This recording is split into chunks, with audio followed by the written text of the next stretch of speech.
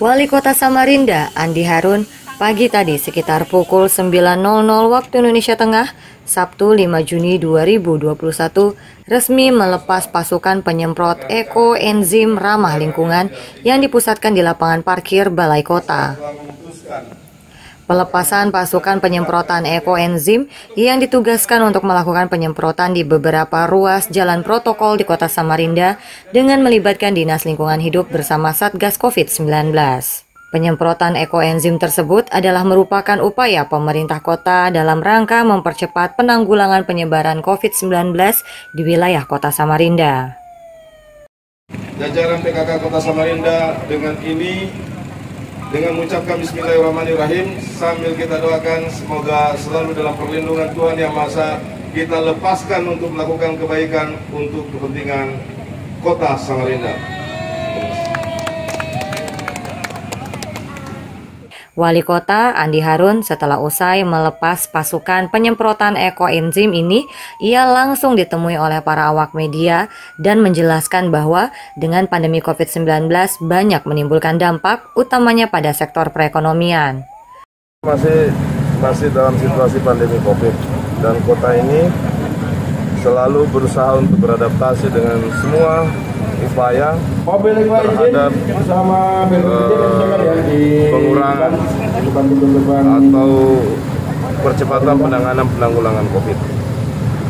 Kita ingin memastikan agar kota ini sehat, warganya sehat, agar terus menerus kita bisa juga memastikan bahwa kegiatan ekonomi kita bisa berjalan dengan baik. Cobaan kita sekarang nggak ringan, sangat berat kita tidak sekedar melihat dan membaca COVID-19, tapi akibat dari ini semua sisi sektor perekonomian kita e, mengalami banyak masalah gara-gara COVID-19.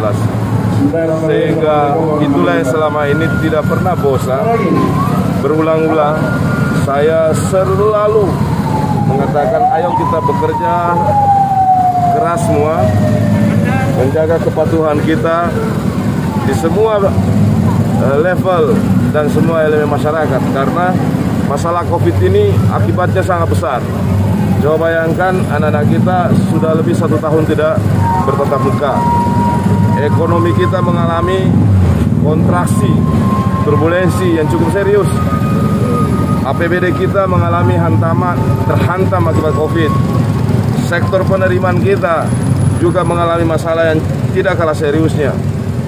Oleh sebab itu, kita harus bersatu padu hingga COVID ini benar-benar uh, hilang.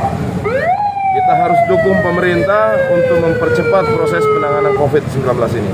Lanjut kemudian ia juga menyampaikan bahwa TPA Bukit Pinang akan segera dipindahkan setelah pemerintah sudah mendapatkan lahan yang cukup strategis mengingat TPA memang harus jauh dari permukiman. Sekarang lagi pe pembahasan dan penyiap pe pe pemilihan beberapa opsi-opsi e, lokasi lahan. Kalau Bukit Pinang tidak bisa lagi dipertahankan. Di tengah pemukiman, kemudian soal e, apa namanya teknologi e, pengelolaannya ke depan itu harus dipastikan berjalan.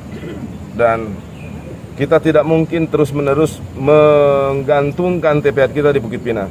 Sehingga saya ingin mempercepat dan saya percepat keputusannya bahwa TPA Bukit Pinang kita pindahkan. Saat ini, hari-hari ini sedang memilih beberapa opsi.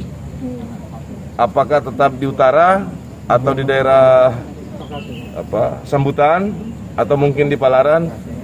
Sedang kita hitung dari sisi teknis, baik menyangkut tentang uh, pergerakan mobilitas, efektivitas mobilitas, kemudian dari soal, soal daya jangkau biaya, serta daya jangkau personil. Kita sedang hari-hari belakangan ini sedang memilih opsi. Nah. Dari lapangan parkir Balai Kota Samarinda, pelepasan pasukan penyemprotan ekoenzim dalam rangka percepatan penanganan penyebaran COVID-19, tim GA TV Kaltim, Akbar mengabarkan.